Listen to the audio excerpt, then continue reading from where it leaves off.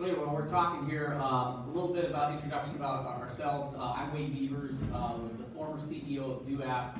Uh, David Brillo, CTO, CFO, CMO, Vinny Ogo, right, was kind of added to that. And then Joe Schreiber, another founder. Um, Joe is joking, he was a dele delegated intern, right? Um, and then I have John Roberts, who is lead, lead counsel for us at New Counsel, and then David Olson, who's built his own business here at Morgan Stanley, but also was a key influential part for us in our exit. And that's really important for everybody to know. There we go. Hey, 1986. So I want to tell a little story before we get started talking about DoApp. Everybody talks about the fact that they have a business idea or want to make money somehow, right? So 1986, I'm 16 years old, think I'm pretty cool, but I'm really not. But I, obviously at 16 year old, what did I want? I wanted a brand new pickup, right? I wanted to be cool. The reality is in 1986, I was probably driving this, right? The worst reality is I was trying to figure out a way to replace that with that. So the big problem is I had an option. Rob a bank, win the lottery, sell a kidney on eBay. Of course, eBay didn't exist or a wealthy Nigerian uncle, which everybody gets that email, but email didn't exist at that point either. So the next step was I realized 1986 minimum wage was $3.35 per hour. So that means as a high school student, 15 hours a week, 335 is going to make 50, 25 a week. Well, the reality is I wasn't a real overachiever. I liked, you know, surf, do all those other things a California kid would want to do, watch MTV, talk on the phone. I like chicks you know, Atari video games, you name it. What I realized was I wanted to do something different. So what I did is I realized students love candy bars, right? So I became a candy bar dealer at age 16. What I did was took and bought $25 worth of candy bars at a cost of 25 cents per candy bar, 100 candy bars total. You figure it out. I was selling candy bars for 50 cents, 100% profit. Goal is to sell out every day for a $25 profit a day, six classes a day, eight minutes between classes, 15, 7, 17 candy bars between classes to reach my goal. I always scheduled fourth period PE because that was the largest class, everybody's hungry. Even my teachers would buy food.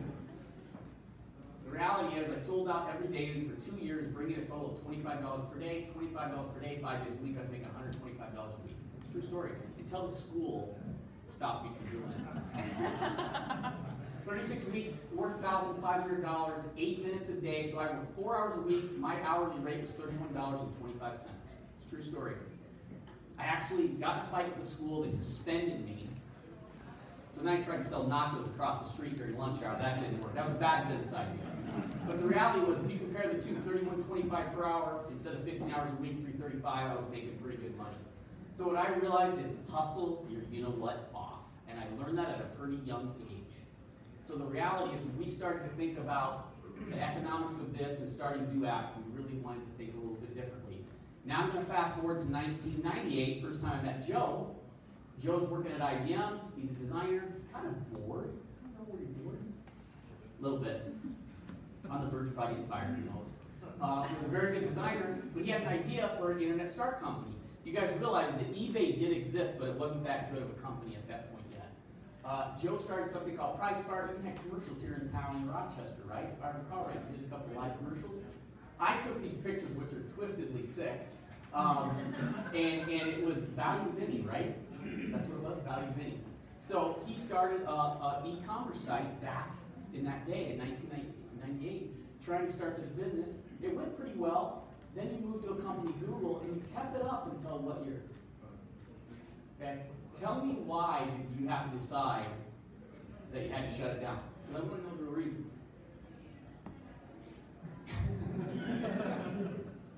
well, right now I, I wish I would have kept it up, but um, at the time I was too busy doing Google stuff. But you also knew there was some business stuff around that, that you also knew people started to send complaints to you that stuff wasn't fulfilled, things of that right. nature, right? That's true, yeah. There was some yeah. just customer service stuff that I didn't want to handle. Suddenly you realized you had an idea that became a business, how do you manage all that? So success, failure, success, failure. We went through that. So here Joe is, I don't know what year is this, April 2004 he said. Is this, tell me the story a little bit about this. So this is a picture from when Google filed their S1, so that was the document that they filed with the SEC to go public. So Joe's the first UI designer, I don't know, employee one ninety-five. You, you want, you have a number. Um, this goes public, it's probably 9,000, 10,000 employees, right? Probably about, yeah, eight thousand. Four years' time. So, part of an interesting thing, we start to talk about the next startup or next idea or concept. And mind you, I'm gonna focus a little bit on technical, but it doesn't have to be technology, okay? There's all kinds of businesses. In fact, in this room, how many are current business owners? Already. So you know the ups, the downs, the craziness. How many wanna start a company? Okay, how many investors are here? Okay, then, then we'll get you guys together with the ones that want to start companies. Um, so the joke is 2005, Joe's at Google, Dave's, you know, cracking the code over there at IBM. I tried to make myself look cooler than I really was, but I wasn't. Um, over there at IBM. Uh, 2006 comes, Joe leaves. He says, "Hey guys, I'm moving back. I'm leaving Google." What happens in 2008? We have this idea. Let's start a company. We had no idea what we were going to do, folks. No idea, which is probably not what I'd advise to most people. Uh, so we try to figure out where we go, right? Well, that's somewhat true, but we, we had a ton of ideas, we just need to focus. We were a little ADD. That's true. We were a little ADD.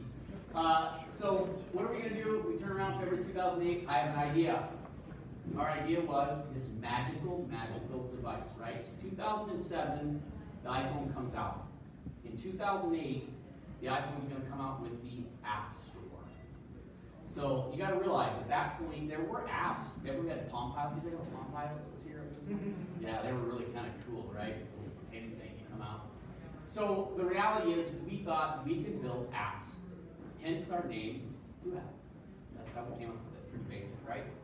Uh, so March 6, 2008, Apple comes and says there are only going to be a certain number of companies available to be in the App Store. And I can't remember, it 2,500?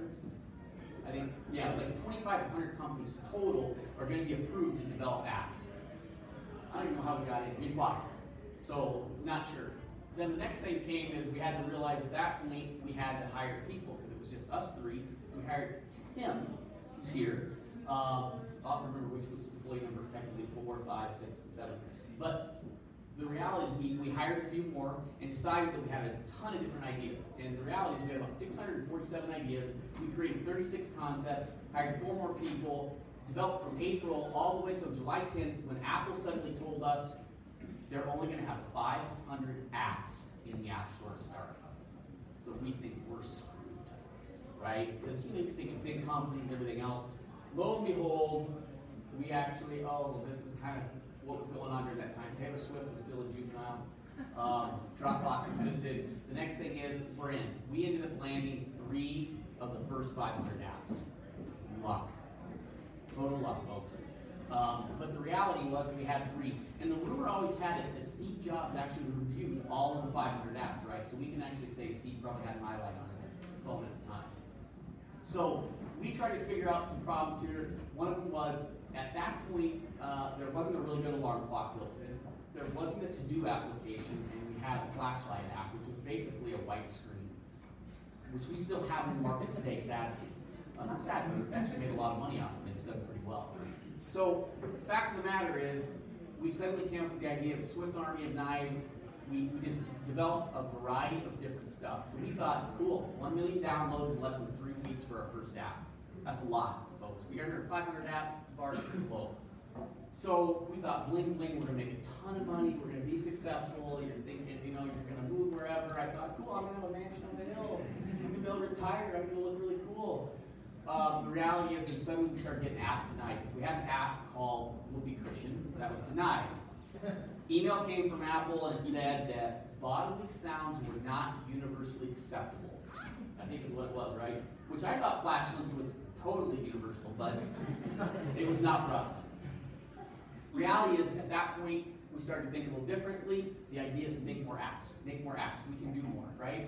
So Whoopee Cushion, I think, ended up finally going through, and we started to make all kinds of different apps. We had an app called Punchometer, which is really cool because we filed a patent for it, which was the algorithm. If you, you swing your phone as hard as you can, you could, you could actually generate uh, a true G-force. The problem is, I think we found out that we could maximize G-force pretty quickly right after. So Tim, who wrote a bunch of code, figured out a way to actually uh, change that. It became a gamification long before Facebook existed and all those other things. It became a gamification game, game that you could actually compete against one another.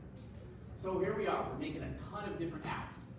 Game apps, education apps. Uh, we have this kind of generic light bright wannabe uh, React, which we still love as a game. All these were flowing through, and then we even got Sony to come to us and say, hey, American Idol winner David Cook wins American Idol. They loved our flashlight app, uh, which had a lighter function in it, and lo and behold, his first song was, what was it called? Light Huh? Light on. Yeah, light on. There we go. You guys remember David Cook? Anybody remember him? Yeah, he was like one of the first winners of American Idol. Uh, so the reality is, they signed us. We signed a deal with Sony. We suddenly are learning this business, but but the fact of the matter is, app ideas went from 600 to 300 to 88 to 17 to 4. By November, everything that we had thought of has already been done in like four months' time. So obviously, we didn't think originally. So we started to think about what are we going to do after that we started to look at the DNA of what we are. So the people we hired were former IBMers, uh, enterprise guys who, uh, who really didn't want to be restricted, but the reality was we're not a gaming company. We're not EA Sports. We're, we're not that. We're, we're in Rochester, Minnesota. So we're trying to figure out who we were. So lo and behold, we started thinking, obviously, you know, medicine and healthcare is one of them. So we really diversified into what we kind of call three industries and three solutions. So it was healthcare, real estate, and, uh, and, and news. So all these apps, I suddenly we have a variety of applications, 75 mobile apps, and we're growing. Here we are, but the fact of the matter is we kind of are delegated down to three. And then the reality is how much money can you really make off an app and you suddenly had to build a business. Anybody ever built a business from scratch? It's really flipping hard. It's really hard. So the reality is we're a self-funded company because Joe's time at Google decides to fund this. Okay? But that gets pretty stressful suddenly because colleagues are colleagues and friends, but what happens now he's putting an investment in it. Right? So now there's the stress of trying to make it. So we change. So we pivot, we focus on these three things. We have no office uh, for the first four years. We didn't have an office. I think I was at every coffee shop. They would all know our names. Uh, we worked in the basement. Uh, you guys remember the ping pong table, right? You know, famous ping pong table. We're sitting there and having pizza doing all this things. Which I'll talk about the time that you dropped all the company code during a meeting. All the users were gone completely. Talk about starting a startup. We have thousands of users and they're gone suddenly. You didn't tell us during that time. So, fact of the matter is, we suddenly landed, and I'm sitting in my basement dialing for dollars using WebEx. I'm not going to meet all those people. I am dialing every TV station, every news station I can, and I sold 60 60 days, I think is what it was. And that was kind of a pivot point for us. You're just you're just dialing for dollars trying to make it. Because you have no idea. You're competing against the bigger and bigger. The reality was, as you start, to look, and I'll, I'll talk about the next slide about what it was like when you start to look at revenues. But the reality is, I always use 2011 as a great example because this was the year that we kind of were not bleeding red, and we were kind of hovering back and forth. And that's a really uncomfortable place to be because one month you're black, the next month you're red. Black, red, black, red. You don't know how to deal with this. So the fact of the matter is, we ended up getting a really cool deal because you decided to increase contractor work and increased contractor work. You knew who that was, right? Amazon. Amazon paid us a million bucks to go build 20,000 apps very quickly. Long story short, it was kind of a good boondoggle. We took it. We took it. So the fact of the matter is, you're suddenly dealing with that reality. And this is where I equate the emotion I had during the time that we built the company. So 2008, you put an investment in, we made $4,000. So all those cool apps and everything, we made very little money. So you think about it, we probably spent an average, I think we figured fifty to eighty thousand dollars per app is what development is. 2009 comes, 55,000. Start to think, rethinking about this whole business idea of starting a startup, right? 2010 comes, pretty scared. We're starting to realize the money that's been invested, we're kind of collaborating on what this really means. Does that mean we're going to make it paycheck to paycheck? What's it really like? Uh, 2011 comes and it becomes big. That's where the optimism starts to come. Then the reality is 2012 hits and you're pretty excited because you went from 1.5 million to 2.8 million. Now, this isn't profit, guys. This is sales. But that was a key component. Remember, we're running three businesses. We're running a healthcare solution, we're running a real estate solution, and we're running uh, a, a new solution. So you talk about being a little ADD. we're still ADD because we're struggling with the fact that we're running three different companies. So in 2012, opportunity knocks that we get a we get a, a taker for our our uh, healthcare solution, which is pretty cool. Mayo Clinic works with us. We exit that one in 2012. Two things came with that that I always realize is focus, focus, focus, focus. So suddenly now, one less thing to deal with. Put a little cash in our in our pocket. We're able to say we had a pretty good year in 2012. 2013 comes, and you go from 2.8 million to 3.9 million, you're starting to go, "Ah, I thought I would have increased more revenue. So you're feeling a little confused. Like, where are you at in your business? Anybody ever felt that way in their business? Like, you, you know it. And, and it's hard to explain to people. You will reach that moment. You go, well, I feel like I'm just here. We were there in 2013. So 2014 comes, we're focused. Bam, we're hitting some numbers, going through. 2014, we have a deal done in, I don't remember what month it was. It must have been in early 2014. We got a deal that we're gonna sell uh, our real estate solution and our new solution. The company that wants to buy us wants just our new solution, doesn't want the real estate solution. So we have to find a way to split these companies, split the deal. So simultaneously, we're trying to sell one and the other, and the close date is gonna occur at the same time. Thirty day, what they call LOI. You guys know what an LOI is? Letter of intent. It's really exciting when you sign it, it's really shitty when it doesn't go through. Um, 2014 comes, we get to day 29 of the LOI. The real estate guys are gonna close. The news guys back out. Day 29 of day 30. And you are nine months pregnant at the altar. Baby's out. Screw it, it's not even nine months. You got five kids. And you are at a point where you are like, wow. And they say, we're. You can't pull back on the other deal. So half the company is going away. So I have to tell Dave, hey Dave, you're going with the real estate. You're gone. There's five or six other people that are going. That's a really tough thing because what you always thought in an exit was it was going to be successful and it's all at once is kind of a partial deal. So 2014, we exited. Now I've got to run this business in 2014. You got to go back to running your business. And guys, selling a business is not an easy process. And we'll talk a little bit about that. So just pounded out in 2015. Had a little luck, numbers went up. 2016, our numbers go up. At that point, I was really determined in 2015. 2016, you're getting reflective.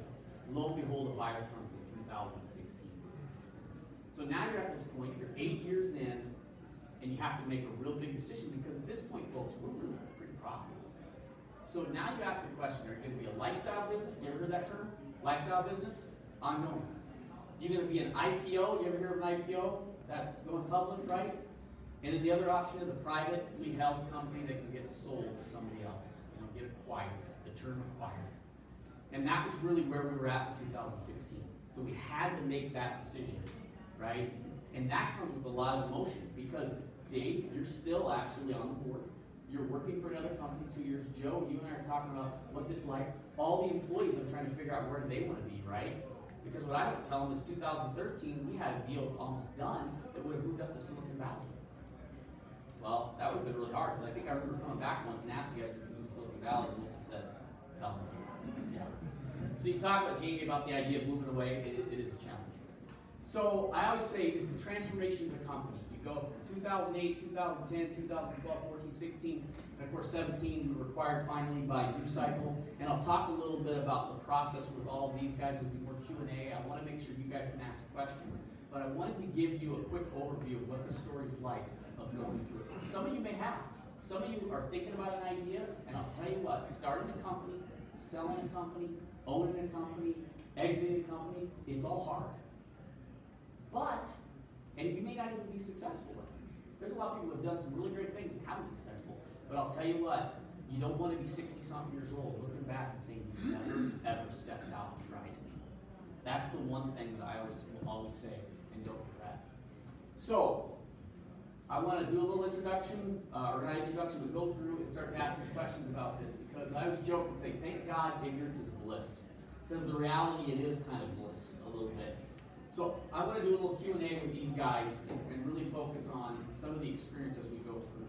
So I think one of the first things is, I was asking, and I think I asked you this before, Dave, is like, would you do the same thing we did starting the way we started?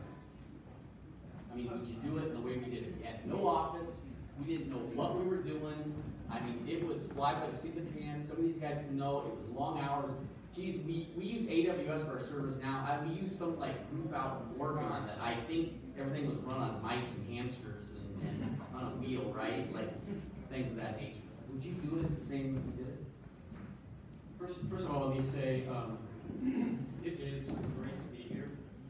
It's kind of like a family reunion, you know, seeing everybody again. We haven't been while. Um, but let me just start out by saying that a lot of times you hear somebody say, well, Steve Jobs started in the basement or a garage. So if I start in a garage, then my, my company will be successful, right? And I don't think there's any one silver bullet to a startup. I just read an article and it said that the one key to every startup that makes it and is successful is guts. Well, what does that mean? Yes, you need guts, but there's, you know, the, the startup world is littered with a lot of companies that had guts but didn't have all those other things. You have to have marketing, you have to have the, the right people, the right marketing plan, the right strategy, the right products, everything else, right? So it's not just one thing that is important for a startup. So going back to the question, what would I do if I started again? Would I start in the basement or would we get an office? Those types of questions. Well, I would do the same thing. The only difference is I might do, go move to an office a little sooner than we did. we waited four years, and I think we would have benefited by getting into an office sooner. But I want to just give you one thought that you won't find in a textbook. if you're going to start in your basement, I'm going to give you three P's as a guideline to what you should do if, when you're starting in your basement. P number one is pizza. I mean, pizza is the greatest thing for a startup that ever was invented. There's a slab of flour, you know, you have some flour, some cheese. Everybody loves it. I used to feel a little guilty about forcing so much cholesterol down everybody's throats. And I would put up some carrot sticks, but nobody would eat them. So, but I mean, it's the greatest thing. P number two, pool tables and ping pong tables. Now, you say, why is that? Well, in, in our basement, we had a foosball table, pool table, ping pong table, and a pool table is a great pizza holder. Seriously, think about this. If you cover a, a, pool, a pool table with a, you know, a covering and put a pizza on it, it can't slide off. And then a pool table, you know, you could put some chairs around it, and you know, five or six people can fit around a pool table. We've had up to 12 people around a ping pong table. Sorry, ping pong table. And then the final thing is peach air freshener. now, you think air freshener is a funny thing to suggest, but think of 12 to 15 people in a small space, and you've, you've served them spicy pizza and Mountain Dew for lunch. You need air freshener. And the reason why you use peach is because it's sort of, nobody likes it, nobody hates it, it's sort of a neutral thing. But anyway, those are the three P's of starting something in your basement. And just to answer the question, yes, I would really do everything the same way. And that's coming from a MBA from University of Minnesota, right? Technical Carlson School Management. We, we talked a little bit about everything you learn there, like it's thrown out the window right when it starts, right? Yeah, definitely. So the next question I really had is around Joe. And, and Joe spent time, obviously, as an early employee at Google, but also, I mean, part of DoApp. And one of the things I asked is, what are some of the differences that you saw compared to the two? I mean, obviously, being employed 195, 200 is a pretty good number. We were pretty small, pretty intimate at 11, 12. But what's, what are the characteristics or some things you see that were similar, some things that are different?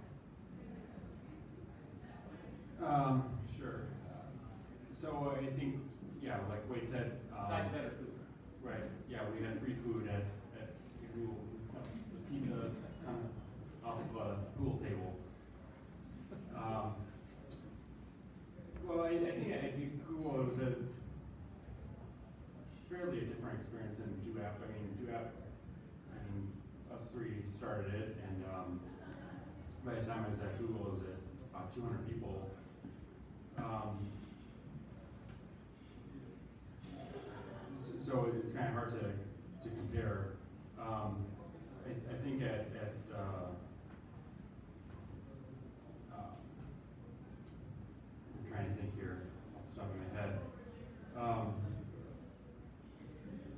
Think at, at, at Google, I, I remember um, when I joined Google, um, I thought everybody had joined way before me, and everybody had more experience than me, and, and that I, I couldn't contribute anything. But then about six or nine, nine months into being at Google, I realized that hey, you know, they hired me, and I have something to offer. Um, I, I do have it a little bit different because um, you know I had to suddenly lead some some people, and um, fortunately I met uh, Wade and, and Dave at IBM and brought them aboard. That's probably one of the smartest deci- decisions I made at, at UF was to name name uh, Wade CEO. Um, so it- I, I think it was just a difference between starting up a company and, and joining a company that was existing. Actually, at, at Google, I joined a company that was about 200 people, and that was about the size of, of the, the team I was on at, at IBM. And so, So had structure. Yeah. Yeah, we had no structure. Yeah. It was anarchy. And, It literally was anarchy. and as, as you saw from the, um, from the first year, we were just kind of throwing darts in the dark at, at different ideas that we had, and, um, fortunately, we had the the foresight to determine that we should be building these platforms for real estate and, and, and using information, um, sites, and, and I think that was a great idea. So, so I, I brought John and Dave along because they were influential in, in our business. And, and John, legal counsel is new counsel. You really have focused on startups. Um, mostly in Minneapolis, although you do represent some here and work with the Mayo Clinic. One of the key components is you've seen a lot of success in, in the cities. You've seen a lot of failures, right? And, and really, what, what I, I think these people need to know is give us some stories of some of those that you see or some of the characteristics you see that are pretty consistent from some of the startups you've witnessed. I mean, I gotta believe when I walk in the door and meet you, you're probably like, oh my gosh, this is just another guy that's got a great ideas, he's gonna try to make it. I mean, we all kind of have the same thing, probably sometimes a little too much arrogance, probably think we're gonna succeed. Um, and yet you've seen a lot of those guys go through the process, right? We mature through some of that. Um, tell us some of the stories you have around some of the startups you, you've witnessed. Well, uh, sure. Uh, first, I should say though, when I first met Wade, he comes in the door and he says, "Well, I'm going to sell uh, mobile apps to newspapers, TV stations, and radio stations." I'm like, "Oh my God, all of those are dying industries." uh, so I don't know. So we we have a small law firm in Minneapolis. There's just four of us, and all we do is tech startups. And we've been around now for about 10 years, and we've started up, I think, 110 companies.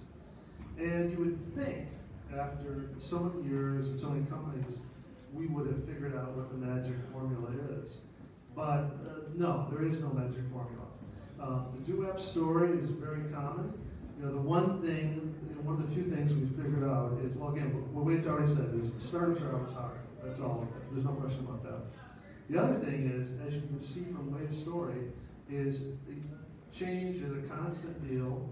And the only thing we know is when people come in our door and they say, here is our idea, uh, we know that a year from now, from that day when we meet with them, their idea, well, there'll, there'll be 90, there won't be 180 difference, but there'll be 90 to 150% different. And Wade brings up, you know, Braid, and again, Wade had to, be, you know, the, the mobile app thing was going, and no one knew where it was going to go. You know, how long did it take Jobs to, or to decide to, to open the garden wall? and Didn't want it, didn't want it, people don't realize that actually Steve Jobs did not want to have He uh, wanted- an app. He wanted, well, He was well, totally against it. he wanted Apple developers to develop apps. Can you So, imagine right now if there was no app store? There'd be no infrastructure for that. It accounts for a fourth of their business revenue. Uh, even the smartest guy, I guess.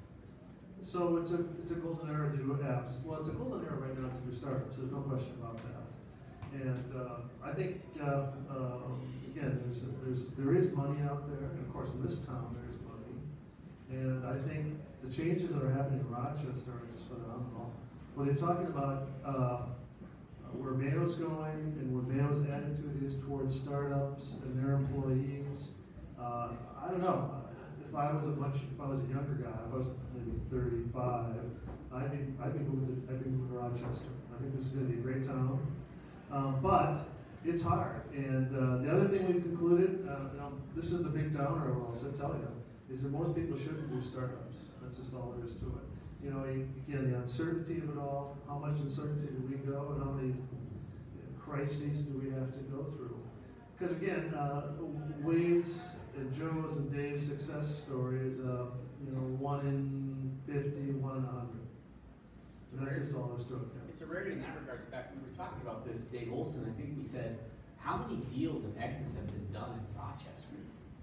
I mean, obviously, everybody knows Fastenal, right? That was probably you've witnessed.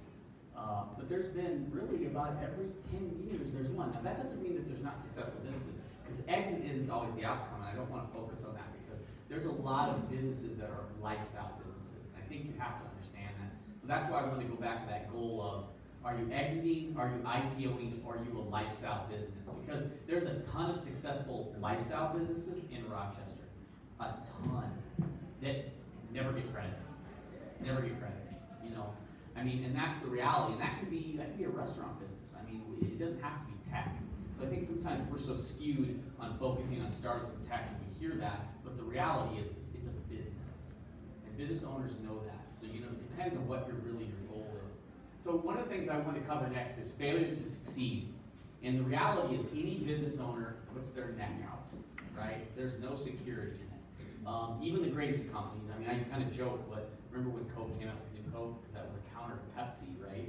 Remember Pepsi wanted, they had their Pepsi taste test or whatever. So they wanted something that tasted more like Pepsi, which was a dismal failure. But in reality, it was kind of good because then the classic Coke became classic. Um, Apple came out with the Newton. Anybody remember the Newton? That was actually their first like portable device, which was kind of a piece of crud.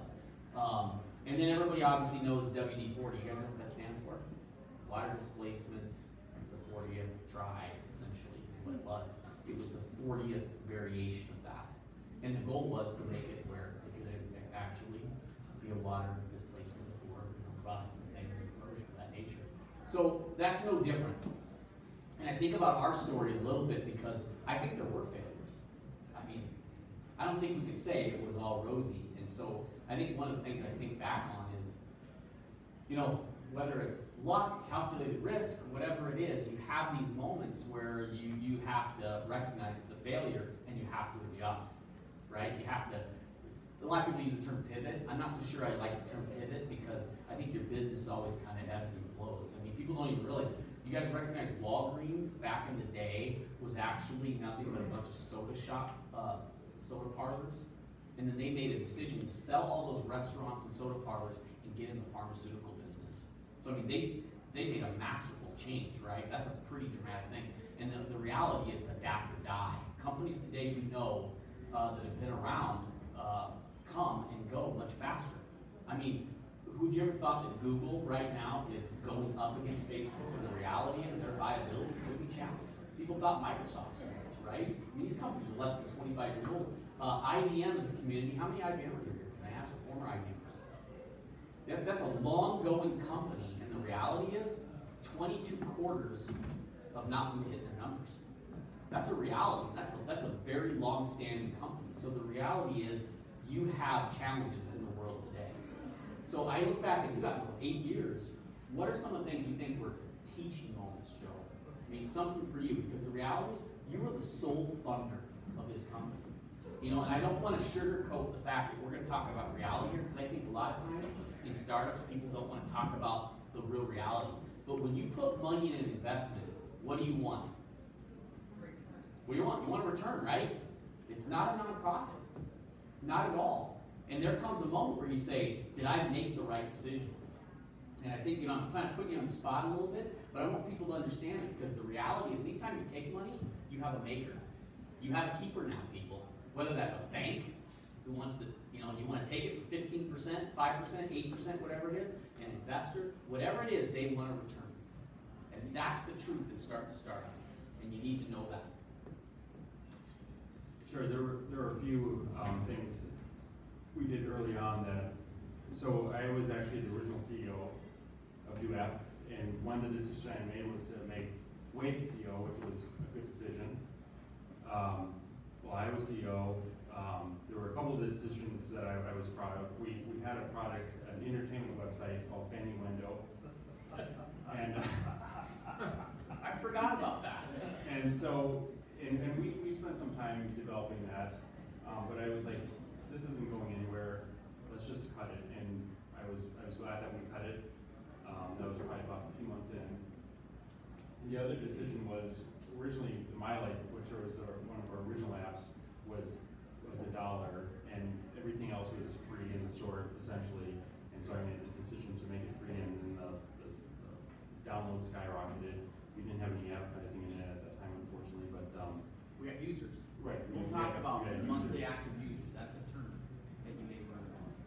But, but as far as funding the, the company, um, honestly, I, I never thought, um, about the amount of funds that I was putting in. It wasn't until my wife said, hey, you know, we should probably start, start looking at this a little bit better. But I, I think I remember one, one thing that either, I I believe it was, um, Dave that said this initially, that, that, you know, he, he left his job at IBM after twenty years, which was a big step, and for about ten years after he left. And he said, you know, Dave said, I think in, in something like, you can't fail, there's, there's, there's no other option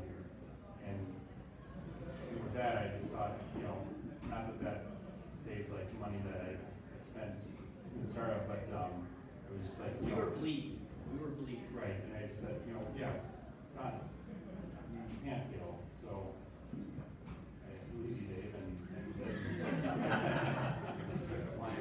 Apply trust in, apply trust in what they said, and here we are. I, I think that's pretty candid, folks. I mean, think about it. Would you right now take money you have, invest in some other person, and then have to explain it to your spouse? Pretty hard. You, you've been there, haven't you, Jim? You know what it's like? No, the reality is that is real. Because the fact of the matter is, you have another partner that that's shared money. I mean, that doesn't always happen. Now, it's different when it's secured invest, or not secured, but it's when it's more organizational money or money that comes from a, from a VC group. That's a little bit different. We'll talk a little bit about that, but I think I think it's important to note that that becomes a risk. And and Dave Olson, I thought you could talk a little about that. You've been around the markets a long time. We kind of joke about what private equity does, what VC does, and what you know just people investing in the markets. And you were a great influence to me because you kind of looked at it pretty analytically, you know, which I'm an emotional roller coaster during this time, right? Tell me how you look at it from your perspective because you've seen it all, right? Everybody's, you've seen, a lot of guys come to you with ideas, you know, or even in town, they come and say, hey, I've got a, I've got a business or whatever. So tell me what you kind of see from that perspective, especially when you start to look at guys and say, hey, there's high risk. So what do you look for in some of those kind of people if it's high risk, right? Thanks. That's a good question, and uh, I think that regardless of whether you're looking at public companies or private companies, most of the time, at least for me, it's a lot about people and management, leadership. And you just heard these guys speak about the conviction that they had to have. One guy says, "I left my job after 20 years. Failure's not an option." And there are some things about these guys that they won't tell you that are just incredible measures of their integrity. I mean, if you had a problem, if I, I can honestly tell you this, if something happened to me and I had to leave my child with someone, these guys meet that criteria. So that's all you need to know. The rest of it, you know, works out. They're, they're good business guys. But when you look at public companies or private companies and you can get to the point of understanding who the people are, because ultimately every company is backed up by a human being, um, that's really what, what most of the decision making that I do is, is based upon. It takes some homework to actually get behind the numbers sometimes and figure out, you know, who the decision makers are and what their character is as a company. But uh, these guys are largely successful because they didn't accept uh, failure as an option and they did things the right way and they would stand up to their decisions. And, um, you know, it was, nobody wants to finance your experiment, quite frankly, as a guy who represents other people's money. Um, that's not an option. And if you come in to a startup business with ideas of grandiose exit, you're already out because you should come into a startup business because you're doing something that you think is important and valuable and you love it. And then you're gonna be okay. Because no matter what happens, you're doing what you love to do and the rest of it will take care of itself. So those guys met that criteria and, uh, you know, all pivots and evolution, I gotta give Wade a little bit of grief because his aspirational goal in nineteen eighty-six was a pickup that I'm pretty sure was built in the nineties. I gotta look back at that picture. I, I. He's a visionary, even at sixteen. But, uh, anyway, I was a small part of this whole thing and it was really a, a blessing to be involved with these guys on the exit part of the strategy, which we'll talk about later. But, um, it's really all about the integrity of the people and the work ethic and the conviction, I think. Thanks, Dave. Joe has something to add. So we, we did in fact look at other um, funders, um, probably five, six years ago, and some, some venture capitalists and some angel investors, and you can go down that route, and I don't think it's a bad route. Um, but I, I think ultimately we decided to s- stick with me, because I, I was part of the company, I had, I, I, Easiest sale ever. But, but also, when you, when you bring in outside investors, you have to answer to them too. And there, there's good and bad, I mean, they can bring you other, um, opportunities, but they can also be a pain in the, the rear too. And So we decided to just, uh, keep all the funding in-house and we lucked out, but It worked out in the end, the cap table's a little bit cleaner. But, um, actually, Joe brings up a good point. Uh, I don't remember what year it was, we went out to Silicon Valley, so Pebble, what's, what's, what's it called, Pebble? Oh, um, Sand Hill Road. Sand Hill Road. So Sand Hill Road has Sequoia Capital, you, you name a major investor company, you have it all. So Joe having some Google background actually was kind of nice because we got in, we met with Sequoia. In fact, Sequoia works a deal, when you come in, you get fifteen minute increments to kind of do your pitch. Now, at that point, we were, it would probably to be two thousand twelve, because we were making money, because we had a little more swagger, I think. I think we spent an hour and a half with Bill. So the reality was, and that's where he was like, hey, move out here. Well, basically, it was a talent acquisition. I was trying to sell you guys. So um, the reality was, they would buy talent. In fact, what's crazy at that point, for technical talent, they paid two million dollars an employee. So I could have sold you guys off for $2 million in crack, and you move out. Of course, you know what cost of living is in Silicon Valley. It's pretty expensive. But we went and met with Sequoia, I can't remember, it was a long list, and Felicis Ventures was the one, and you kind of laugh because Felicis Ventures was one of the key investors in, um, Angry Birds. Angry Birds was, was the one. So we met with him, and he was a former Google colleague, did the favor to Joe. I meet with him, do the pitch, and he says, you'll be out of business in three months. Point blank, said, I wouldn't invest a penny, you're done. Like, it was rude, remember? And I walked away pissed off, man. I was pissed. I'm like, so the other option is you kind of walk out and go, well, is this guy right? Is he right?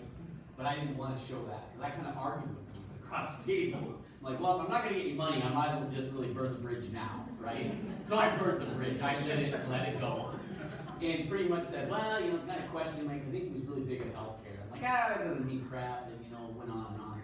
But the fact of the matter is, that was a validation point for me of like, okay, I hear what he's saying, I have to understand that and respect it, but at the end of the day, I knew at that point, it was like, I gotta have some grit and figure this out. Because I'm sure you're gonna get told, and if you start a company, I guarantee you, you're gonna be told at some point, your product's crap, your service is crap, you don't do well, or something. And so you had to be able to recognize it, accept it, and then move forward. And I'll tell you what, it was a motivator, at least for me personally. But you kind of laugh and you'd rib a little bit about it all the time because we always kind of joke. Now, obviously, we were on the good side of it, but I always laugh because I would look at other investments he made, and if they didn't work out, I would kind of feel The other thing, we, we did have, um, we didn't have formal offers from Google or Facebook. We did talk to them and they said, hey, we'll, we'll buy you essentially, but everybody will have to move out to the valley and, you know, everybody I think on our team had kids at the time and nobody was gonna be moving out there, so. that, that, that's true from the DNA standpoint. So here we are in the Midwest, and this is a little different. So when you were at Google, Joe, you said the majority of those people were either baby boomers that did have kids were out of the house, or they were young, they weren't married yet, so it was like, you know, Tinder on steroids, I guess, right? You're all working together. Um, swipe left. Um, so the reality was you were all single. Well, the fact of the matter is the DNA in Rochester is very different, right? You have kids, uh, you, you, don't have that cohabitation in that necessarily the same way. In fact, I always felt like at IBM that was a challenge. Everybody thinks, you know, oh, go ahead and create more ping pong tables and all the other stuff. That doesn't, what they want is time with their family, other services and things of that nature. So the reality was, we met with Facebook and Google, and they were interested. But you know what the funny thing was? They didn't give a rat's tail about our product. They point blank said, we love what you're doing. We want your employees. We'll kill your product. And we'll give you money for that. That's a hard thing to swallow because you gotta remember, he's knee deep in investment. So you almost wanna take it, right? But the reality is, and I think this is really important for people to know, is know your DNA of your employees, of your company. And the DNA we knew was that wasn't. That wasn't what these people were about. Which leads me to the next thing. Hiring great talent matters. One of the things that I always said, and I think some of the employees that are here will recognize this, I always say, you should hire people better than you. Which totally contradicts in the world of big business. You always want to have somebody next to you who's really shitty, so then you get a one rank and they get a four. Laugh, but that's the reality. When I was at IBM, you could have 26 people in a team, you could all do great, and it's not to knock IBM, this is every large company. And the reality is, 26 people do great, guess what? Four are gonna get ranked four, four are gonna get ranked one, and the rest you're in the middle, somewhere between two and three. So you never wanna share information, you never wanna be part of something great. Could you imagine, I know this Jim, because you're a coach, could you imagine if you told all your kids, hey, guess what? Go and be successful, but at the end of the year, I'm gonna give four of you a big bonus, the next four you're gonna tell you you're crappy, and the rest of you are somewhere in between. If you run a business like that, I challenge you to think differently. Because that was the one thing we did. So I joke, because I think Jeremy, you, you're credited for like hiring a bunch of these dudes, right? And I always said, hire somebody better than you.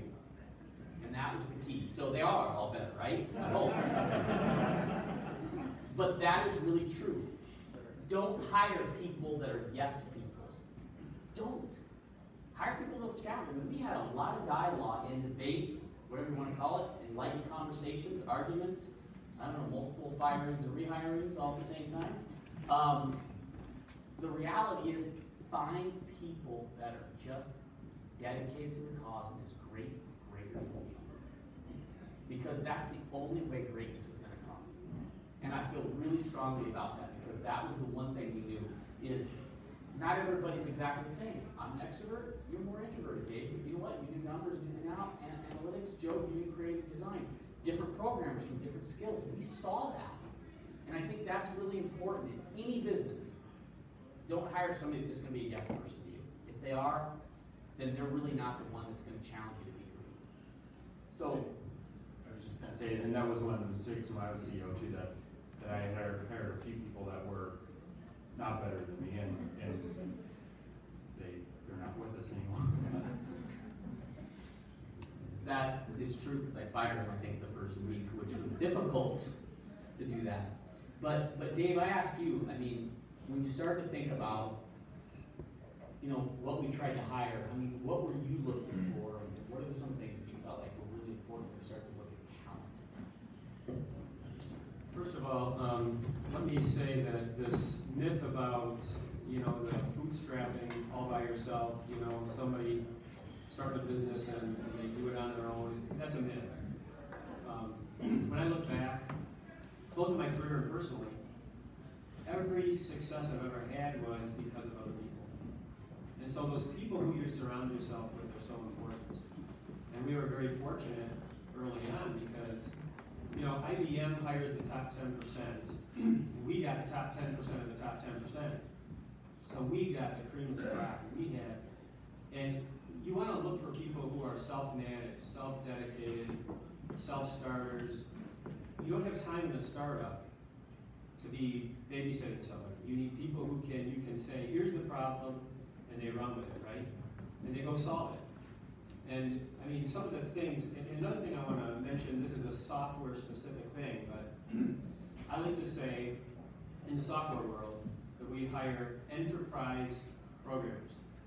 And that means, I'm not talking about somebody who can do a web page. I mean somebody who can think about a system level view. And it's the difference between somebody who can replace a windshield on a car and somebody who can build the assembly line who builds the cars, right? We had some excellent talent, I mean, Jeremy and Ryan were doing, um, past, you know, they, before Cloud Foundry existed, right? And they were on AWS before it was cool. And some of the things they did, and Tim would, anything you challenge him to do, he could, he could find a way to do it, even if he had to dig way to the machine level, you know, and, and figure it out, right? Um, and these are the people you need, and the dedication, we worked crazy hours in the, in the beginning, hundred hour weeks and, and. That's a minimum. Hundred, hundred hour weeks. And That's, that, that's the minimum. and that's for real, because, you know, we were, we've been talking every time of the night. I mean, uh, Two AM. Two AM. Put the kids to bed, I don't know if you guys have done this, you literally Newborn on the, Yes, I'm on, uh, yes. four AM in the morning. Yep, put the kids to bed because you try to be the best father you can be, you know, and then you start working at ten o'clock and you work till two or three AM, you get back up at six. And- Four hours sleep was pretty common. And if you had a client, you know, one of the TV stations or something, they had a problem, you get everybody on the phone and everybody just had to work. And it could be four in the morning and you still have to do it. And, um, that dedication, you look for that dedication. Um, and we were just really blessed to have the right people. And just something to think about, just as I close out here, um, my view has really changed on people since I started IBM. When I started IBM, I used to think that you build great products that your customers can't live without. And that was the focus, it's about building the products, right? And then as I got into team leading and managing and everything, I started to realize that it's people who build great products, right? It's about the people. And, and let me just take a professorial, Ray's gonna kill me for this, but, um, meandering, and just, and just say, um, that in the industrial age, it was all about Deming and time studies, and you could slot in somebody into an assembly line that had two hours of training. In the information age, you can't do that. Knowledge workers are, are the key to your success. Because software has such a short lifespan, but it's those knowledge workers who can do software release after release and keep your, keep you moving forward. So that realization led me to build great people who build great products that people can't live without. But even that doesn't scale, and now I'm at the point where, as you scale up an organization, as you're building an organization, you want to build great people who can build great people, who can build great products that people can't live without. And that's kind of a recursive loop if you're talking software terms, where you're building great people who can build great people, train people who can train people. And like Jack Welch said, he spent most of his time in the end um, just focusing on building people. And that's why I consider the people that we hire um, to be the most important asset, the most important reason for our success, getting the right people.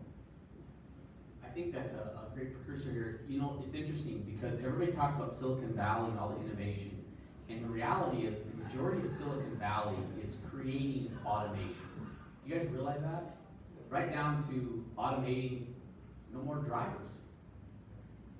That's, that's the reality of that world we live in. So I'll give a great example.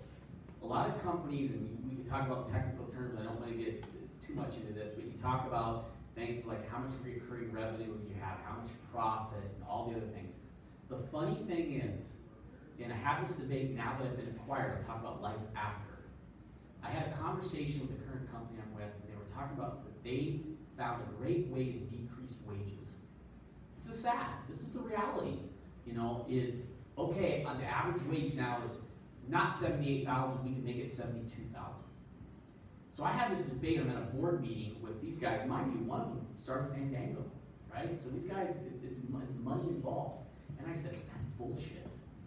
How much money do you make per employee, right? I don't care, because I'll be fired. What do I care at that point, right? I've exited. I've been there a year and a half. I can walk away. But I, but I, I really felt strongly about this. I said, it's about the people.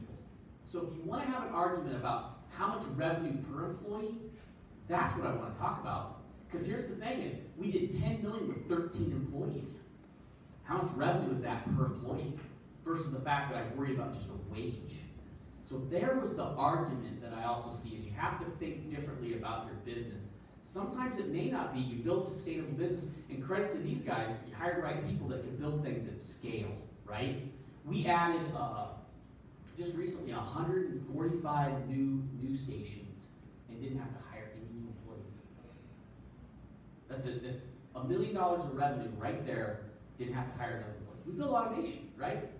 So shouldn't they be credited for that versus the fact that a lot of, a lot of technology companies wanna say, well geez, that guy wrote an algorithm that automates now, we should get rid of his job. There lies the problem. Take smart people, challenge them with other things, and you'll be surprised what they do. And it was all about the people. Which brings me to the next thing. Joe, you were there at Google. I mean, you know, you guys hear stories. I mean, was Marissa Mayer your team lead? Right? So, you know, you hear about Marissa, you hear about Sergey, Larry, and others. What's the DNA difference that you think, because you're a Midwest guy, now you're a little biased, right, because you like the Midwest, but the reality is, what's the difference between there and here? And all I know is there's a lot of time from Midwest that is going out there. So yeah, I, I was fortunate to, uh, was my team lead and manager at one point, and, and I met with Larry and Sergey on a weekly basis in the early days. So I I was certainly fortunate to meet them at the time, you know, they, they were, I wouldn't say nobodies, but they weren't known as well as they are today, but Larry is from Michigan and Marissa is from Wausau, Wisconsin, so they're, they both have a Midwest, Mid- Midwestern, um. When I got back here about twelve years ago to Minneapolis after, um, after being in the Bay Area for about five years, I kinda had, still had the, you know, entrepreneur, um, itch and wanted to start up something, that's when I eventually, um, called Dave and Wade. But at the time, I was like, is there any, um, is there any kind of uh, startup mentality here? And I didn't think there was. I met a couple guys. Um, one's name was John Dahl, and that John Roberts knows. Um, and they kind of helped me kind of pull back the curtain on all these kind of different startup mentality kind of folks that were in the area in, in Minneapolis. Um, and John probably knows a lot more than I do, but just in the past ten years or twelve years, I mean, the, the startup community and kind of the entrepreneurship uh, mentality has, you know, exploded. Um, John probably can talk, talk more about that, but, um, so I, I, I think the, the, um, entrepreneurship mentality and, and startup kind of, uh, people wanting to be in startups and, and start startups has, has just grown, and I think there's, I, I don't think there's much difference between Silicon Valley and, and Rochester, Minnesota, or Minneapolis, Minnesota, than there is in Valley. I mean, obviously, there's a lot more people that you can choose from, and that's why they hop from one place to the other, but, um, I, I think that's kind of a benefit up here, that there, we're kind of a, um, a sleeper kind of, um, community in the fact that, you know, people don't, you know, we're flyover states and they don't like look at us, but, um, I think there's a lot of talent here and plenty of talent here, especially in Rochester with Mayo and, and IBM. And I obviously most of our talent came from IBM, or actually all of it. Um, had some IBM. joke what we were gonna do? We were gonna buy the billboard across from IBM, Right. the billboard of the Blue Building, and we are gonna write a big thank you. Right across the board. Thank you IBM for giving us the talent, the great talent. No offense, sorry. So I, I think that same kind of startup entrepreneurship mentality exists here as it does in, Silicon Valley. So the, only difference is a, is a, is a geographical location difference, and that's, that's about it. which technologies helped and changed that. So, um, the next thing I want to talk about, raising money is even harder. So we talk about starting a company, doing all that, but raising money. And I, I think you two guys are the most qualified to really go through that aspect. One, I want to ask you first, Dave Olson, what do you see, because a lot of guys come and say, hey, I want to raise money, and it's hard. Anybody here tried to do a money raise? Yeah. It's, it's not easy. Um, you know, it, and the thing is, is we, we have something called bootstrap, which means you're begging and borrowing from your family, friends, and others. But then there's formal VCs, venture capitalist guys. There's angel investors. Um, there's a lot of different angles you can go. But the reality is, they all have a consequence to them, right? You're attached to something in that reason. So one of the things I wanna ask Dave Olson is say, what are some of the things you see commonality people look to raise money? Is it, is it the people? Is it the, is it the product? What do you tend to see the guys that kind of talk to you and say, hey, I wanna do this investment, and you're giving them counsel because you're, you're managing their, their finances and say, well, compared to what you can make in the market, there might be a risk difference there. Yeah, that's, that's another good question. Um, I sort of operate on both sides of the, the fence. I work with clients who are investors you know, that comes with a pretty significant fiduciary responsibility, research and due diligence requirement and, um, and we take that really seriously. And frankly, um, in the role that I play in that, uh, job with Morgan Stanley, um, we're not financing startups, I mean, that's not what we do. Uh, but we, I mean, my interest and my passion is working with entrepreneurs and business owners, so it's an offshoot of that, where introductions and, uh, networking and help for those people who are looking for financing kind of comes into play. The one thing that I would say is earlier, I mentioned nobody wants to finance your experiment. And I think when you get to the other side of a transaction, if your cap tables, which really means capitalization, you know, where you took your money from and how many people have an interest or equity position in your company, um, that becomes way more important later down the line. I guess you could speak to that too, John. Um, so I really encourage people, especially um, depending on the size of your dream, to go as long and as hard as possible with the mentality that these guys brought. And you know, Dave Brillo said, um, you know, the myth of bootstrapping. Well, these guys did bootstrap, and so did many of the other companies that are winning stories to come out of here and, and the valley too. But um, it's also true that nobody does it alone, and I would think I speak for everybody up here to suggest that, um, you know, people are happy to be utilized as a stepping stone if you need help, and, and I'm happy to be part of, I mean, use me or John or any of these guys to help you find the right people at the right time. But the longer you can go before you take outside money, uh, my simple answer is the better off you're going to be in the long run. And um, you know, keep in mind that uh, the public market, if you're in the S and P, you're up, you know, 15 or 18 percent, depending on yesterday's closer today. But um, you know, a lot of people are up 25 or 30 percent. So you know, there are great stories locally of 10x returns in the public market. Exact Sciences is a company based on Mayo Clinic, uh, Docs Science. It's uh, early identification of colon cancer. So you know those people think they're doing something important. They stuck with it. They've had a lot of great turnarounds in the course of their short uh, existence. But that's a 10x return, and nobody had to give up liquidity. Nobody had to worry about what you're doing at 2 a.m.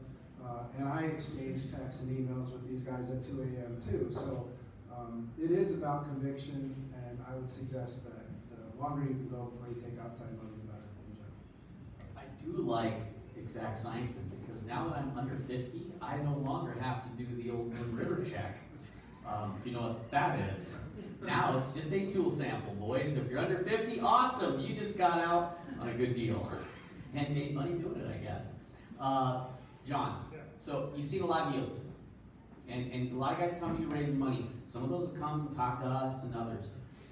What's the advice you kind of give to some of those guys? Because I think a lot of people sometimes also come to the point where they do an initial raise, right? And that might be a bootstrap, let's say, of hundred thousand dollars. Their burn rate is twenty-five thousand dollars a month.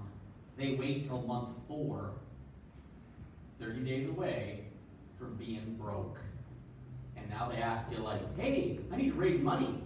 I need, I need to use a credit card or somebody just needs to give me some money really quick. Um, how do you deal with that, you know, from your perspective? Because I'll tell you what, guys, John was fantastic for us because there's one thing to have legal counsel. It's another thing to have legal counsel that gives you life advice and also connects you with people. Because that was huge. That was huge. I mean, these guys don't get enough credit. You found the supplier for us to actually do the deal to sell, which was huge because we looked for a long time. You've helped us talk to people, I mean, and network around and understand those aspects. So, what are some of the things that you give in regards to that? Well, sure. I think first, it might be good idea to tell people, you know, what are, you know, what are early stage companies, how much money are they trying to raise, and what does that mean? And, you know, the tip, so people come into our, uh, offices, they wanna do a startup, and, uh, the first time around, we just kind of explain the basics. But eventually they come back a month later and say, "You know, to build a prototype of what we wanna do, we need to raise X amount of money. And most startups in Minnesota, although strange enough, it's pretty consistent with Silicon Valley as well, uh, they want to raise about 150 to 500 thousand dollars in angel investments. And for those of you who uh, don't spend all your time reading articles about this on the web, angel investors are typically you know people who made money doing something else and want to make and want to want to do investments because they've already made 25 percent this year on the market or on farmland or whatever. And uh, so, yeah, that's, that, can you raise that kind of money in Rochester or Minneapolis? Well, yes, there's a ton of people who are angel investors out there. It's not as organized as the Valley or Los Angeles or Austin, Texas, unfortunately, but you can do that. And um, uh, it, it's really doable, but the key thing is, of course, uh, hustling and raising money um, is part of that. Again, the Bezos story is one you should always keep in the back of your mind. Bezos goes off to Sand Hill Road, where, um, he was talking about, and the first 50 uh, venture capitalists he talked to basically said the same thing. He said, they said, not only are we not going to invest, but this is the most stupid idea I've ever heard of. Who could possibly want to sell books online? And so, uh, yeah, you're going to hear a lot of that kind of thing. Uh, but you can't let that bother you. Someone will hopefully get the get get the idea sooner or later. So um, the good news is now also, uh, now that uh, the angels have been part of the world for 15 years, there is some very good uh, research being done there about you know, who are angels and what they invest in. And I think, uh, or what, they, what are the key considerations when they make investments. So uh, believe it or not, there's they get it down to about two factors. And you'll probably a little surprised about how they weigh those factors. Uh, the first factor is, of course, the idea. Yeah, of course they want to make an investment in an idea. But the second investment is, who are you as the founder or the founding team group? And what do they think? Do they think that you can really do something like this? And believe it or not, those two factors are both 50-50. So uh, just because you don't have, maybe maybe you don't have, well, Google is not an original idea, sorry, Joe. Uh, but uh, you know, Well, the beast to hack, right? but uh, so again, uh, you have to keep that. I think you have to keep that in mind, which loops back to what uh, I think what Dave was saying, Andrew was saying too, about building a team of people, and also they don't like investing in one-person companies. So you have to build that you know, very, very early on. Uh, but uh, like I said, this is a golden era to do this. There's a ton of money out there. You just have to find those people. And uh, and, uh, and again, raising 150 to 500 thousand dollars is doable in Rochester. It's doable in Minneapolis, St. Paul. It's pretty much doable everywhere because there's a lot of people who want to invest. especially on the angel invest, investment side, so, um, I think that's very, very true, um, from, from the investment side. The other thing is, you gotta understand there's hooks involved in that too, right? Well, here, let's, Yeah. let's be honest about that. Um, so angels are okay. Angels are usually people who uh, are used to taking risks, and you know, okay, things don't go well, the company goes away, they're not too worried. But once you get to that next level up, the venture level, uh, what I tell people is, uh, if you're not willing to take the knife out and cut part of your soul out to give to them, you will not get the money. That's just all there's to it. So again, uh, investment at that level uh, comes with comes with it uh, certain uh, you know, certain decisions, and uh, it just depends how bad you want it. But it will, and sooner or later, the thing gets almost out of your control. These guys again had uh, this captive investor over here, uh, so they did not have to go through that. But once you take uh, take on venture people, again, that's so 150 to 500 is kind of the angel group. And I think um, the real venture people are people are investing, you know, a million dollars plus in your company. And uh, they want things like you know, board seats, they want to have an active role. Some want to have an active role in the company. And uh, that's when it gets serious. And you have to feel that that's another whole new thing to learn how to manage.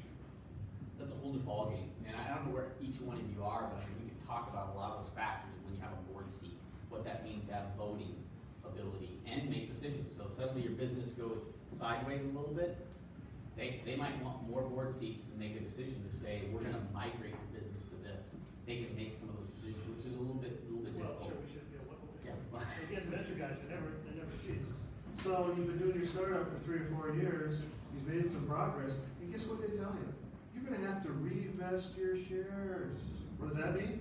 Well, you thought you owned thirty percent of the company, well, maybe now you own ten, but now you gotta earn the rest back by working there three more years. So again, real money comes with real consequences. There's, there's a consequence with that. So there's one more thing I wanna cover before, and then we're gonna do Q and A, because I know it's long. In fact, I'll stop after this, let you guys grab another drink, um, and, and then we'll do some Q and A. Um, which I wanna go back, selling a company is even harder.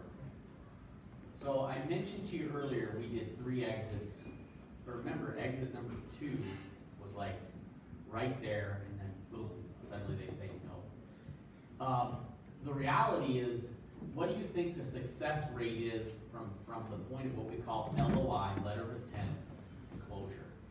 What would you guess the success rate is? Huh? Yeah, You're, you're right, it's within that range, it might be less than that. Twenty percent is a good Yeah. Yeah, and, and, and some of the variables that come with that are, you know, the letter of intent signed, and it might be the- what they call the due diligence, right? And the due diligence is basically everything you've done in that company is now going to be questioned. Revenue, what'd you do six years ago? I noticed in the month of June in two thousand nine, you dropped nine thousand dollars in revenue. What does that mean? Or, we need to do the transactional view of this. What about your technology itself? We need to run it through a product called Black Duck and make sure that you have no, what, stolen code or anything of that nature. I mean, everything that you, you've ever done suddenly is exposed.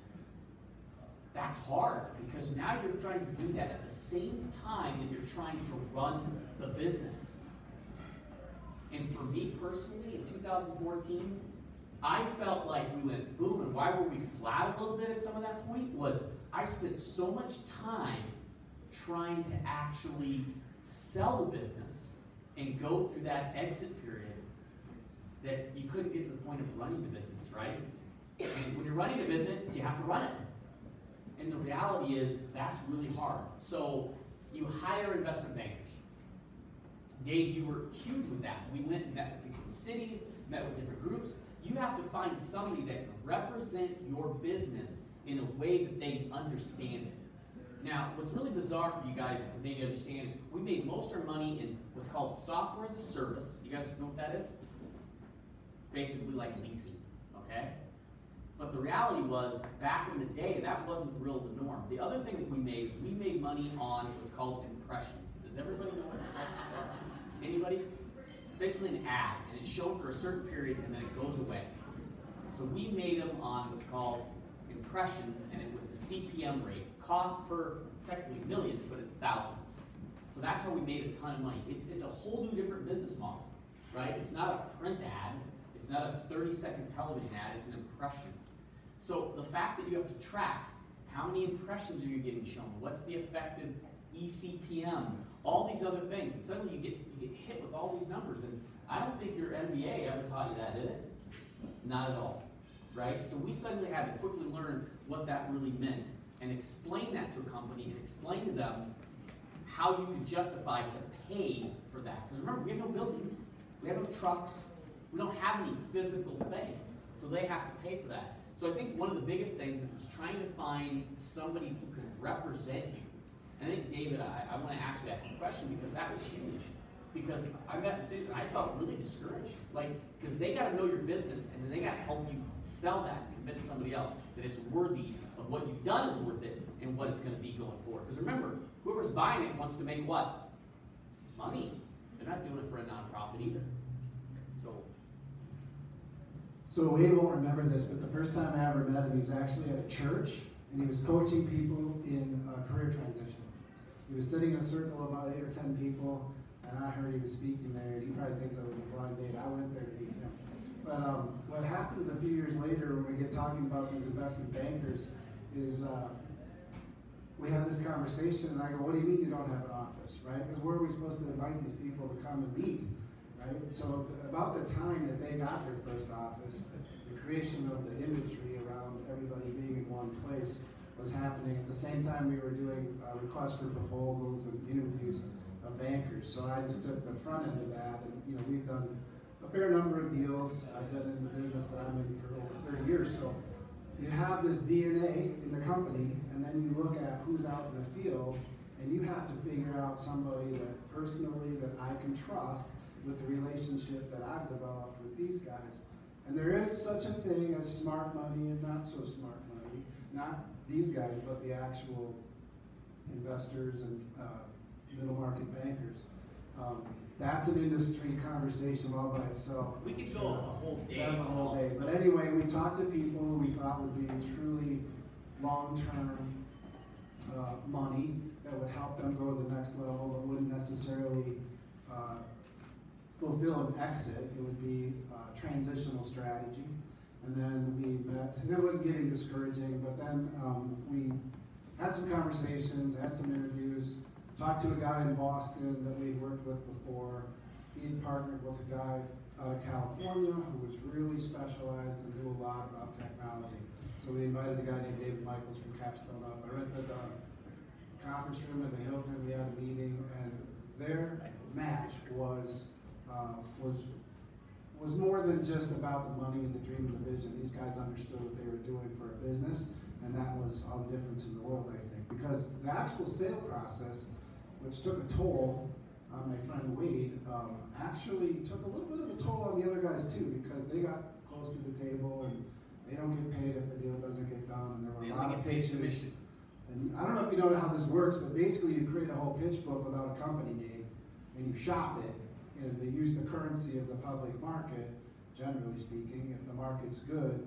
So the right time to sell your business is when there's a market for your business. It's not because your birthday and you turned sixty-five and you're on your way out. If you think like that, you're gonna have a different set of problems. You have to market your business when there's a market for your business. So we were worried about pullback a little bit, what was gonna happen to the currency and buyers and everything, but, um, to the credit of these three gentlemen and everybody on the team, they worked hard through the finish, and it's a good ending to the story. Think that, I think that's key because, you know, everybody, you don't get a lot of advice during the selling process. You just don't. I mean, there's just, it's a pretty lonely place.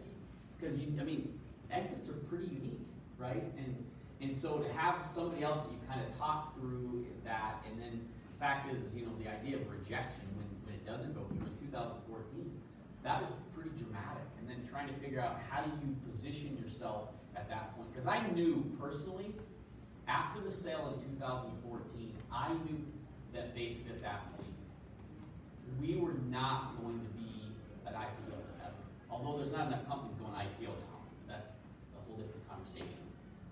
I didn't think it would be a lifestyle business, and why personally was, I was joking, saying I looked a lot younger, I was 30 pounds lighter, and I looked really good before I started this company, and then I realized it just aged me personally, because we had that candid conversation.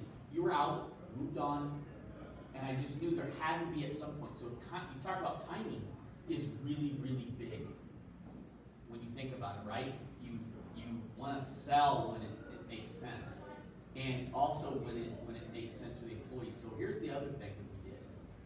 When we did the deal in 2014, we required CoreLogic to keep every employee here.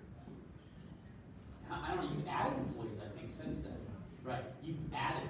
So we created jobs. Average salary of those jobs, I don't know, eighty-five, ninety thousand or greater, right? Pretty good pay. So that was one of the other things is you have to give some things up when you sell the company, but you get the negotiation of some other things, right? So I- don't need to pat on the back, but I knew that it was really important for those people to stay here. I also really believe that there's a lot of talent here. So I knew that that would be a good thing, because if they move it out, I think they want to go to Santa Monica and Austin, Two, right? And Dallas, yeah. And I was just like, nope, there's a, there's a talent base here. did the deal in two thousand sixteen. We luckily, behold, we found a company that acquired us. Their home office is in Bloomington, Minnesota. They have offices in Melbourne, Salt Lake, uh, I don't know, a couple other overseas. But they were willing to keep the employees here. Now, we have some up in the cities because we knew it was really hard to find talent here. Um, the reality is unemployment's about two point two percent here, and two percent of the society here in, in this market is unemployable. So basically, unemployment's 0.2 percent here, guys. So if you're looking for a job, you'll find one. If you got any talent at all, you will. I mean, you talk to anybody that's a business owner for just, you know, low-level hour jobs, it's tough to find talent to stay do those things. So the fact of the matter is, we wanted to keep that here. So we knew it was in our DNA, it would work well, I think there's a lot of great talent. But as far as the sale itself, it, it is hard, and you have to prep yourself and, and do those things. And John, you've seen a lot of deals, and a lot of those deals can go south. Tell them how long it took this deal to gestate. God, I mean, really, two thousand twelve to two thousand sixteen, Well, but even the last part was not like nine months. Oh, yeah, yeah, nine months. I mean, and, and sometimes what you don't know is, you don't know what the buyer's doing on the other side. You know, you don't know strategically what, what they have in mind. So, you know, you start to have to negotiate terms and negotiate those terms around what you want, but you have to give up some of those things too. So the reality is, I personally looked and said, oh, and I have some employees that are here, I knew that, that it was important for us to stay as a team and do those things. That's why I've stayed here and a half. You know, the reality is, we wanted to have something around the fact that we wanted to continue to do. So one of the key components was, you have to keep them intact, and we want to do the things we want to continue to do, which is not always what happens, because guess what? Sometimes they say, I own you now, I can do whatever I want. Now, they were a smart enough company to recognize we were profitable, we're doing well, but that doesn't always happen. It changes pretty quick, which I don't even want to get into the fact that sometimes you have what's called an earnout. Anybody hear of that term, earnout? Anybody know what it means? It means when you sign the deal, you can get some additional money or some additional stuff, but you have to do it under these conditions. The problem with earnouts are, once they own you, they can decide how you do that. So sometimes your earnout, you don't have control to define that. I mean, again, it gets really, really complicated from that perspective. But before we do Q and A, you know, I, I, I just want to say, you know, now that we've transitioned, uh, you know, Dave, how many years have you been CoreLogic? It's two and a half. Well, no, three, three and a half, technically, Th- three. You know, and I mean, you've seen a lot of churn and change, and you go into suddenly you're back to a big company. There's more process. I've seen you've seen it in my role position. A lot of my employees have been able to, to see a little bit of that. It does change, and that's okay. It's not a bad thing. It's just you have to know what you're kind of getting into. You know, the reality is, and all of you, you know, whether you work for a big company, small company, you have pros and cons, right? Bigger companies, there's more process. Um, the downside to that is there's more process. Um, it, it takes longer to do, sometimes do things. Uh, when you're a smaller company, you're always begging for resources and, and, and doing some of those things. Um, it just varies. And, um, you know, before we do Q and A, I want to just ask you guys, you know, what's the key thing you've really learned since the transition? And now that you've been with, with, with a different company? Um, yeah, just a quick thing about the transition, um, you're taking different, a company with a different culture and you're trying to blend yourself back in. And, uh, just another comment about the bureaucracy so-called. I don't think bureaucracy is a pejorative. In a big company, you just need more process and, you know, that's how it is. And, um, and so I think those of us with IBM background, I think going to a big company, it was a little easier to acclimate to because it was kind of back to back to the old days. But um, and just one comment about the, the hardest thing to transition was being able to make a decision for a client or whatever on the fly instantaneously turned into a big process to analyze what the priorities are and uh, I'm a VP, so there are a lot of VPs, and there's, uh, you know, committees of committees, right? Um, and again, that's not always a bad thing, but it's just, that was a difficult transition. But, um, it was definitely worth it. I mean, one of the things we sometimes talk about was, was the whole thing worth it? The end game is to be acquired, our end game was, is to be acquired, so at the end of the day, um, you know, it's been a fantastic experience, I would do it all again. Inside joke? one thing that Wade and, and uh, John mentioned, or, or touched on, was one thing that I think I learned during the whole process. Since I've been a teenager, I kind of want to start a business, in my twenties, I want to start a business. Um, I didn't get around to it until my thirties, which is fine, but I always had this concept of I'd be leader, I'd have some people under me, but I'd be leading the charge, and I think that was the wrong thing to have. So any founders out here, you definitely have to share the responsibility, and I was reminded of that today, um, when we met our, um, uh, guy that was in charge of finance stuff, Kevin, that payroll and insurance and all that type of, I mean, I know that's needed, but I don't know anything about it. And so you have to share responsibility and, and, and, um, you know, I you know, ramp up on finance and insurance and everything, but I didn't want to, that wasn't my forte, and so I think one of the things that, um, Wade brought to the table as CEO is to bring in Kevin and, and a finance person, just, you know, that was his specialty, you know, having focus on his specialty, I, I can focus on my specialty, Wade his specialty, but just kind of share the load is, is basically the point, that you can't do it all yourself as one founder, just leading, you know, a bunch of people behind you, need to share, share everything, so I think that's the, probably the biggest thing I've, I've learned in the last ten years, that I, I can't do it all myself, and I need, I do need help, and it took me a while to understand that, but, um, that was a big, big thing I learned. So here's what we'll do, if you guys wanna grab a drink while you're doing it, just do some Q and A, uh, you can. Uh, but I, I really wanna give at least 15, 20 minutes to people, if you have some questions, uh, you can ask any of us, we're really trying to be transparent about this process. Um, I just don't think enough of this is talked about, and it's not about just technology, we're trying to tell our story, I know there's tons of companies here, even non-tech, that just can share a little bit about this aspect, and the only reason I think this is important is because if we don't, the community here won't. It just won't. There's, there's tons of ideas that I've heard people, in fact, I, I participated in uh, Startup Weekend, which I highly recommend, I think I do see some people here. And it was mind-boggling to see the ideas they came up with and just, you know, troubleshoot and go through it. And some of them doctors, nurses, fifteen-year-old student, I mean, I- it's funny, because you almost have this predisposition, like a fifteen-year-old kid, we never know what, what's going on. That's wrong, totally wrong. I mean, even I learned something through that, so. So, uh, grab a drink, but I, but I also wanna make sure that anybody got any questions, we wanna answer them. So, uh, I get to be like, uh, I don't know, Oprah Winfrey or whoever else talk show people these days. I don't know, I'm watching TV, I guess, so. Uh, anybody have any questions? I can just yell.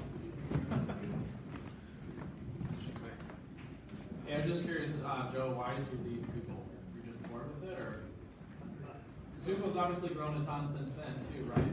But what precipitated that? I get to run back. I'm gonna get a sheep. I guess the, the question I ask is why did I sell, sell my, my shares in Google so, so quickly, is, is the better question, but I, I think, I think, um, I, I thought about this question a little bit. The, the reason I personally left is that it was kind of like, Google, at the time I left, it was kind of like a teenager going off to college, and I said, hey, you know, you're off on your own, I've gotten you this far, you know, take off. And I, I think that's probably the reason why, or kind of the reason why a lot of other people that were hired around when I was hired, or earlier employees, um, they thought, you know, we've gotten you this far, uh, well, you know, ten, ten more thousand people are here, let's give it to them and, and they can take it to the next step. So I think that's why I left it. And I, I also wanted to kind of do stuff on, on my own and you know, whether that was, uh, investing or starting a company like DoApp, I kind of wanted to do something on my own, so I think that's the main reason I left. Also, I had a daughter at the time and, um, focus on, on her, so.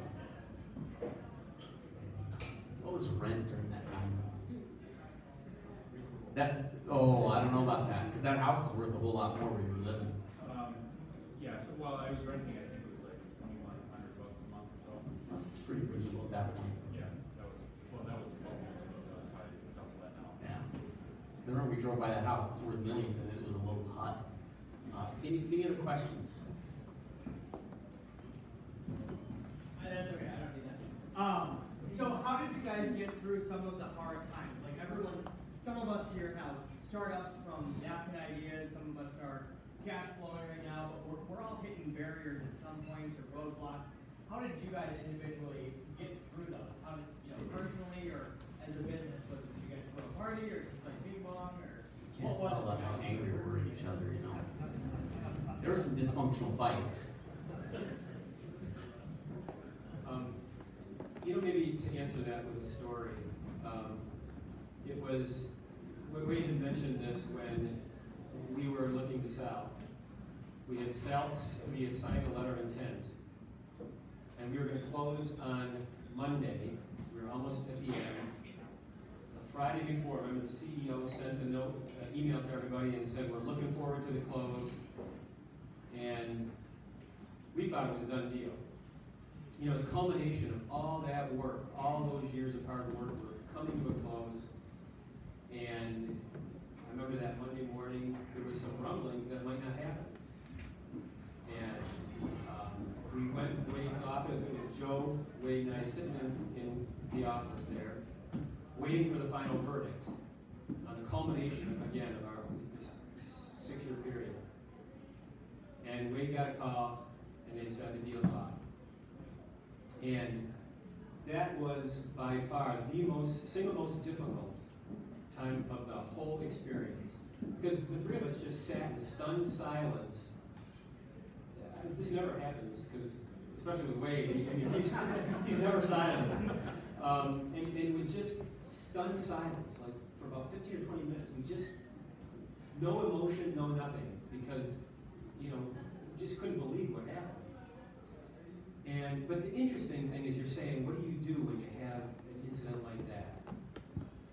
Three of us got up, without saying much, went back to the office went back to work. And so every time you encounter something, you get right back at it and you just go back to work and keep right at it. So, I mean, I guess that's my answer. And I, I think if you don't do that, then you don't have a product that you believe in. And I think we all believed in our product, we knew that it worked, we knew that it was a good product, and we knew that we could stand up on our own if, if we didn't have a buyer or whatever the problem was, and, yeah, just get back at it. And I think to, to finalize that, you gotta remember, self-pity of three guys, that doesn't mean shit. Because there's all a bunch of employees, but guess what? They get a paycheck. You gotta get up. Oh, poor me. Oh, guess what? They got, they, they're just as invested. So I think that was the thing is, is I'll tell you what, if you're a great leader, you better be selfless. If it's about you, you're gonna fail. And I see startups and I go, it's all about them. I mean, I look at the guy at Zynga and I always thought, what an asshole. He was always about himself. And the funny thing is, he probably had a bunch of great employees that probably made some really great products, but it was, I think that was the biggest thing. It was, I just look at it and goes, my responsibility back to them. You know, and it's no different as a father or a husband, right? Or a, a wife. You're going to work every morning. You're not going for yourself. I mean, good Lord, I hate getting up at 6 a.m. or 7 a.m. Trust my wife's a much better parent than I am. And she gets up and does it sometimes, and, and I think there's not enough credit for that because you also look at the spouses. Holy crap, man. They put up with a lot. My, I have a daughter who's 21 years old. She'll tell me I was a semi-absentee dad from pretty much age 13 to 17 for sure. So you, you give up some things. So the reality is when you get to that tough moment, you better have some grit. So it comes back to what Dave and John said. You start to look and go, you're invested in that person. And I think that's what smart investors realize because it is just not easy. And I mean, I don't even delve into the stories. I don't want to get emotional about this. We had an employee, Ryan, your wife was passing away during that time. Died of cancer, 30 something years old. Guess what? Every single employee helped out during that time to help during that. I don't give a crap about HR. And I look and I go, those are the things that you look and you go, when there's tough times, you go, that's life. That's like, that's beyond money. It doesn't matter. So I think sometimes you look and you go, that's the DNA and grit of people. Far beyond anything. And I, I can't say that that can happen just in the Midwest or whatever. All I know is we were really fortunate to hire the right people that, man, they got up in the morning and they were going after it. We believed in the product we were doing. And if you're part of something great, it's pretty amazing because you're just a piece. Everybody's replaceable. Everybody's replaceable. But as a unit, it's just astonishing when something happens and you know that they got it and they want to do it. You know, um, that that was big. And and speaking of, of, of Ryan's loss, I mean, I think I think as a team we all went through our own losses, either people dying or I mean, I went through divorce during the during the last ten years.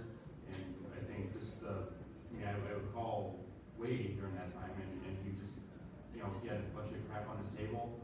He just shoved it off and just listened to me and I, I really appreciated that and I had, you know, certainly a lot of gratitude for you just, just to say, hey, you know, everything else doesn't mean anything. I'm gonna focus on you, and I really appreciate that. So, I think that's the funniest thing is like, I think back to the stories of like success and I, it's more about like those inner, inner inklings of things. In fact, I think today, I came in the office here yesterday, when I came in, we were just BSing, right, walking through a talk. And I think Ryan, you came in and said, this is the best time of the day. It's like, just totally like sit there and talk about stuff.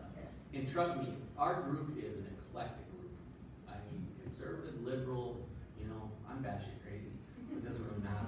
And I mean, it's just all over the place. And the fact is, matter, you, you're part of something. And I think during these tough times, that's really important. And I think that's what's hard when you're feeling alone. That's really tough. Because I read a great article about loneliness in the workplace. I was shell shocked. How many people don't feel like they're committed to a greater cause or part of something? One other thing is, uh, just about, you, you mentioned about doing it alone, is I would not have wanted, wanted to do any of this alone. I mean, I would, I would definitely say you wanna be with, you know, go in with other people. Because when those tough times come, you wanna have that support there. And in fact, John, I think you had mentioned that, like a lot of investors don't want single CEOs or founders. They usually want three, because they think they always know something bad's gonna happen and one's gonna leave. So then you're down to two, right? So they, they kind of know that, so. Any other questions? I wanna make sure to be sensitive to time. Maybe that's right. Okay, so you're a startup company, a bunch of computer programmers. Um, Are you a computer programmer, or are you? Used to be. Okay, alright. Long time. Anyway, so let's say you're a bunch of computer programmers, you're starting up a company, you don't know anything about finance or whatever. What, at what point do you hire a CEO? You, he, you mentioned that one of your best decisions was to make him the CEO, so when you make that decision, none of you is equipped to be CEO, how do you? How do you find CEO you make that decision to find CEO? I think that's a great question. I, I actually think that we have this debate about, um, who should be that role and maybe should it be like a three-headed coexistence. We had this debate and, and one of the things we realized was it's really hard to have three leaders. Because at some point, somebody's gotta make a decision, right? It's like having three head coaches, it just doesn't work. So somebody's gotta be accountable. We went through that process and just figured out it, it, it fit and based on, you know, your skill sets. I think you're gonna have to, at that point, you say, programmers, we got an idea. At some, at some point, somebody is going to display some of that leadership. And if they don't, then you're probably gonna have to find somebody. Now, I know at Google, Larry and Sergey were two guys that went through it, and then eventually they brought Eric Schmidt in, right? But the ironic thing is, Schmidt eventually was kind of ousted out, because Larry felt at that point that he was prepared to become CEO. So it does kind of change even. But I think the key is you got at some point know, does somebody have that ability to kind of oversee that? Um, but that doesn't mean it's just a CEO, it means like our finance people. At the first year we did it, we outsourced our payroll to some company in the cities. Uh, I had a quasi accountant that was kind of doing it, and lo and behold, out of the blue, Jeff Tormark works at, at, uh, at, at Mayo Clinic over in the Treasury Department. He knew a guy who knew a guy? They went to high school together. His wife works at the Mayo Clinic. He was formerly at Hormel. He fit the bill. I met with him. He's really tough to deal with. Yeah, I can always say that to him. But he's really good at what he does. So I had to recognize and go, hey, he's definitely not. He's kind of like a really good doctor that has no bedside manners. But I realized like he's the perfect. We never had a collection problem. In fact, during our whole time, we only defaulted on fifty thousand dollars from a client. Fifty thousand dollars. Trust me, when they were doing our, our due diligence, they didn't believe us. that that was the only amount that we actually had that was outstanding through the whole period. And it's because he was really good at saying, hey, there's no net thirty, you know, beyond it. Like, you're gonna do this and you're gonna be diligent. So the fact of the matter is finding that right person. And I think you, just gotta realize quickly, if you have an idea and you're a bunch of programmers, you have to realize what are you good at and what are you not good at. I mean, I know this, I don't, I'm not a programmer. That's not my background. So I could never determine if, if Jeremy wrote good code or not, you know, but his colleagues could, right? So I recognize that. But what I could figure out was, did he have? Did he have that ability? So you kind of work with your skill sets where Dave would look and say, well, the guy writes good code, or this is whatever, and that capability, but I don't know, don't try to do it yourself. If you can find somebody, do it.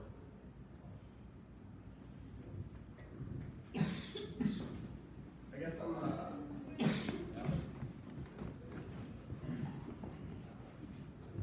I'm curious at those like early stages within your company, at, at what point you really thought, need to stop focusing on our product and we need to figure out, you know, how to scale this into something bigger than it already is. Boy, that's a, that's a good question. Um, when we started, we had no idea, you know, like if apps, like our, our idea was we build an app, you, you'd pay a dollar ninety-nine and we'd make a million dollars. Seriously, that's what we thought. Like, oh man, there's gotta be a million people that'll pay a dollar ninety-nine. We had to pay thirty percent to Apple, so, you know, Apple took, you know, thirty cents on the dollar. Um, we also realized that everybody that paid five hundred bucks for a phone, how many people are iPhone users right now? Raise your hand. Yeah, that's about right. It's about usually about seventy percent. You guys are all cheap bastards. like you literally buy a five hundred, well, thousand dollar phone now, right? And then you'll bitch to us that it's a dollar ninety nine for an app. I kid you not. That's where the decision was made. Joe, you made it free. We debated this because remember we thought, awesome, we're gonna make a million, man. Five hundred apps, million people, we'll make a million dollars in our first year. Suddenly we had hate mail. Hate mail from people saying, you know, why are you ninety nine? This should be free. This should be free. So we made the decision to make it free. So to to your point about when did you kind of know what we had to do, we kind of did a little bit. But what we recognized was we recognized the DNA of what we were, and then we were like, we can't make a game app compete with EA Sports, right? I mean, we kind of realized that. Like we were throwing money and realizing you throw eighty thousand dollars and you're only going to make ten thousand. So we started to think a little differently, and it came back to some basic principles. What we knew was what people were doing on their phones were the same things they were doing on their computer. So we went back to our roots, like what do people do? Well, on the computer, what do people do? They entertain, they buy stuff, they sell stuff, they're informed stuff. So we started to realize that was where we had to be. So it comes back to like basic principles. In fact, I know most people that come up with really good ideas, it almost becomes practical. Like, hey, I was doing this thing and I realized this was really inefficient, or this is really wrong. Um, even Startup Weekend, you guys went through that process, right? It was basic need, trying to fix the fact that, you know, elderly parents are being neglected and you want to connect with them, right? So it was the same thing. So then we had to realize, like, how do you make a business model out of that? So I know you're asking, as an entrepreneur, sitting there looking and going, well, how did you go through that process? I think it went back to the practicality of what people do, and then we had to backtrack out of there and go, okay, are they willing to buy it? If they're willing to buy it, now I have to backtrack even more and say, what does it cost me to make it? What does it cost me to distribute it and all those things? And that was an entire learning process. We didn't know. We didn't know. I'd be a complete liar to tell you we had it figured out. In fact, Dave, you were with Carlson School Management. How much of that was worthwhile for you when you started to that? Zero. Zero. Now, I hate to tell you that, you know, but the reality is that's true because when you're across the, the thing and you're trying to negotiate a million dollar deal, you don't learn that in college. You just don't. Can I speak to that? Yeah, yeah, absolutely. This reminds me of a point, and I, was gonna tell you a really quick story. Because whether you're trying to raise money, or whether you're selling your business, or whether you're just trying to understand with friends and family, how much is a reasonable, I mean, you gotta be careful how much you let people in monetarily, right? Because you're signed on for a bigger commitment. But what's interesting is that, uh, And we have to stick together. I mean, credit to Jamie and to people like Mike. We need more quick wins and more serious wins out of this community because this group of people is different than the people who walk in and sit down. And, know, there's a lot of people who come to some of these meetings, they kick the tires, with all due respect to every profession, I'm telling you that if you sit down with your accountant and he tells you you should get 1.25 times your gross revenue, you got to get out of the room.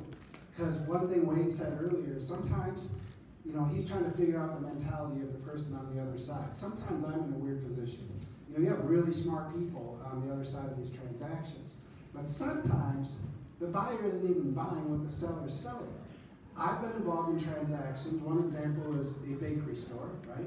And you can go to any accountant in a region and a geographic location to figure out what the bakeries have sold for in a multiple and assign a number to it. But this particular buyer was called Sara Lee, and they wanted to test some product in a particular geographic location. And guess what? By not going to that methodology, these guys sold for like five times the accountant's recommendation.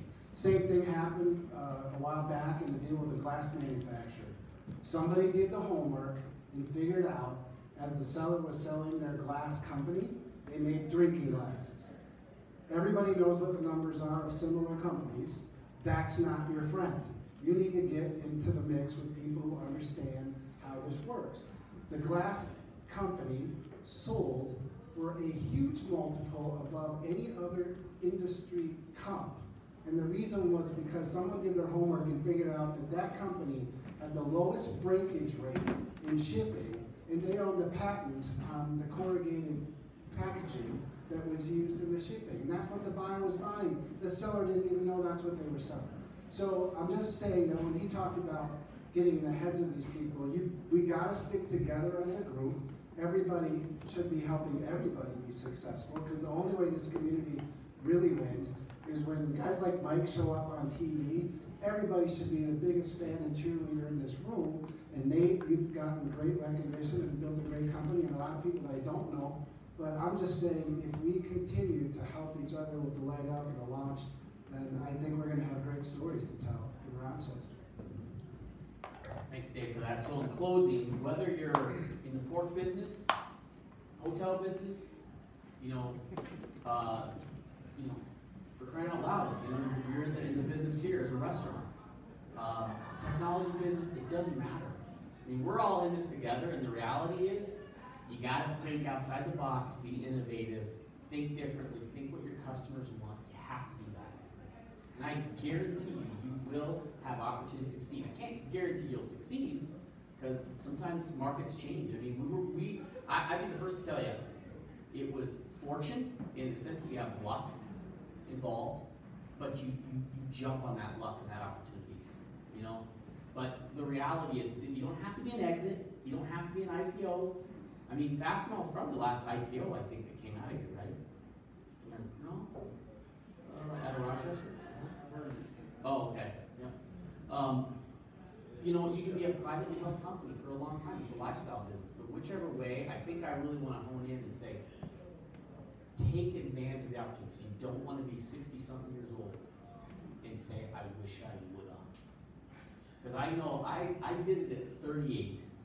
And we just had this conversation about a good friend that had passed away from Nick's dad at 64. I was like, it really hit home for me. It's like 38, I made that decision, best decision I made. Whether I would have succeeded or failed, I know right now this was the best decision I made. Thanks, appreciate it.